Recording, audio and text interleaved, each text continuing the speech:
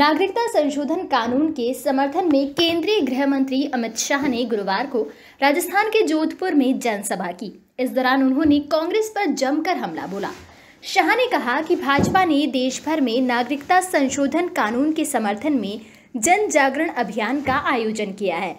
क्यों ये आयोजन करना पड़ा? क्योंकि जिस कांग्रेस को वोट बैंक की राजनीति की आदत पड़ गई है, उसने इस कानून का दुष्प्रचार किया है।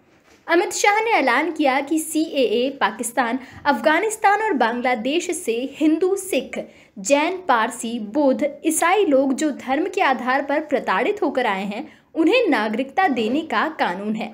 विपक्षी इसके खिलाफ एकजुट हो जाए, लेकिन भाजपा इस फैसले पर एक इंच भी पीछे नहीं हटेगी। शरणार्थियों पर जो प्रताड़ना हुई है, इससे बड़ा मानवाधिकार का उल्लंघन कभी नहीं हुआ। वहाँ ये शरणार्थी भाई करोड़पति थे और आज उनके पास रहने की जगह नहीं है। वहाँ उनके पास कई बीघा ज़मीन थी और यहाँ उनके पास खाने को कुछ नहीं है। अमित शाह ने सवाल उठाया कि ये महात्मा गांधी जी का वादा था, क्या वो सांप्रदायिक थे? जवाहरलाल नेहरू ने भी संसद में कहा था कि जो हिंदू या सिख आए हैं, हम उन्हें नागरिकता देंगे। क्या वो सांप्रदायिक थे? सरदार पटेल, मौलाना आज़ाद, राजेंद्र प्रसाद जैसे लोगों ने कहा था।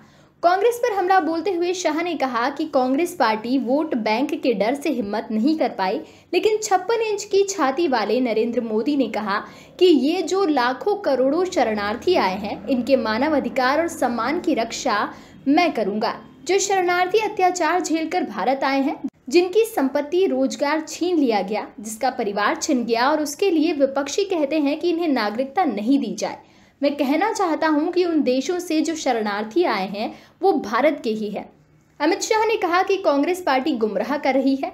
वो कह रही है कि ये कानून धर्म के आधार पर भेदभाव करेगा। किसी भी धर्म को हमने बाकी नहीं रखा है।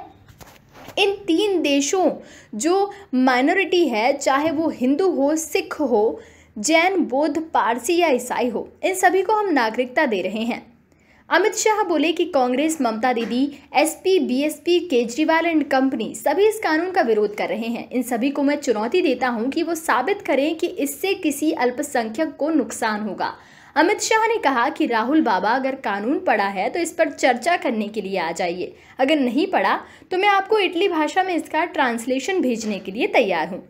ममता बनर्जी पर हमला बोलते हुए शाह ने कहा कि ममता दीदी कह रही हैं कि आपकी लाइनें लग जाएँगी, आपसे प्रूफ मांगे जाएँगे। मैं बंगाल में बसे हुए सारे शरणार्थी भाइयों को कहना चाहता हूँ कि आपको कोई प्रताड़ना नहीं झेलनी पड़ेगी। आपको सम्मान के साथ नागरिकता दी जाएगी।